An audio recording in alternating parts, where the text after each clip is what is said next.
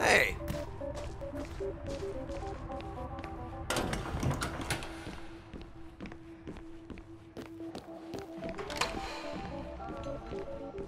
What are you? What? A makeup artist or something? Whatever, man. You'd have to shoot me to get through here. Get out of here.